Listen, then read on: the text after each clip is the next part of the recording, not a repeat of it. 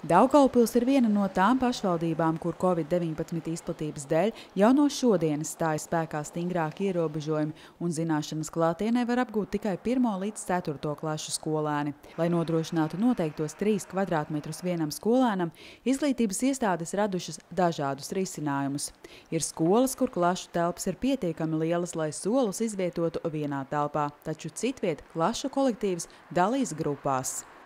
Lielākoties piesaista skolotāju palīgus vai tā saucamos dublierus, kā saka direktori. Ja, no tie, tie ir no skolas vadības, bibliotekāri, sociālais pedagogs, psihologs, ja, visi tie cilvēki, nu, kas, kas nav iesaistīti stundās.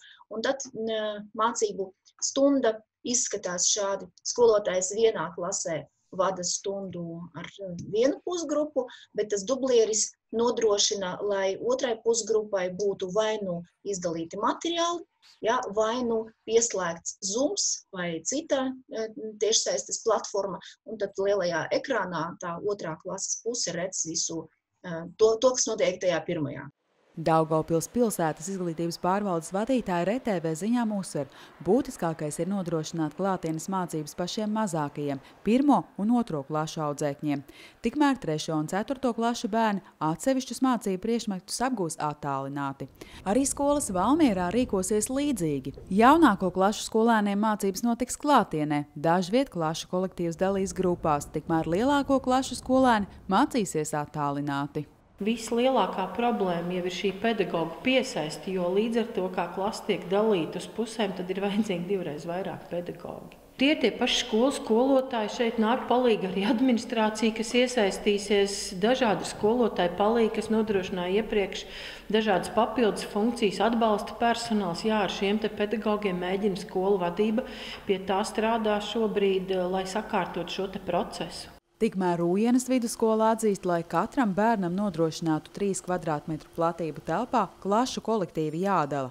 Ja telpas, kur grupas izvietot skolā pietiktu, tad zinošu pedagogu, kuri strādās ar skolēniem, gan nē. Mēs tomēr uzskatām, ka izglītības iestādē ir jāsaglabā šis pedagoģiskais darbs. Un šo pedagoģisko darbu var veikt cilvēks, kuram ir izglītība atbilstoša un to mēs nodrošināt, diemžēl, nevaram. Tāpēc Rojienā visi 1 līdz 6 klašu skolēni tiks dalīti grupās un mācīsies daļēji attālināti. Katra klase tiks dalīta divās daļās, un skolēni nāks uz skolu pēc grafika. Vienu nedēļu viņi mācīsies pirmdienu, trešdienu, piekdienu klātienē, otrdienu, ceturtdienu viņi veiks attālināto mācību procesu, un otrajā nedēļā viņi divas dienas nāks klātienē un trīs dienas mācīsies attālināti.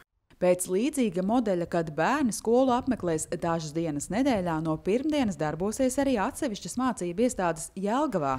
Tikmēr citās skolās bērnus dalīs grupās un mācību darbu nodrošinās piesaistot atbalsta personālu.